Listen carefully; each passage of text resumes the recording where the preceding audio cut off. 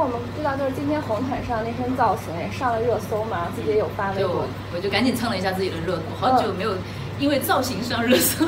那为什么会选择这样一套裙子呢？造型师给的，大家不说让我听话吗？给啥穿啥。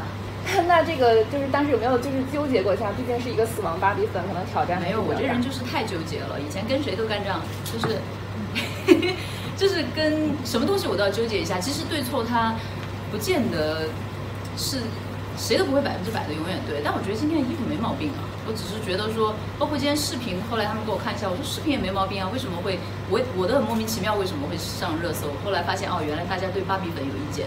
后来我觉得。我觉得挺好看的，不知道为什么。不是我觉得，我觉得我今天周围所有的人都说好看，我觉得他们一定说的是真话。可能是因为好看，所以上了热搜。嗯，一定是这样的。零视频 A P P 等你下载。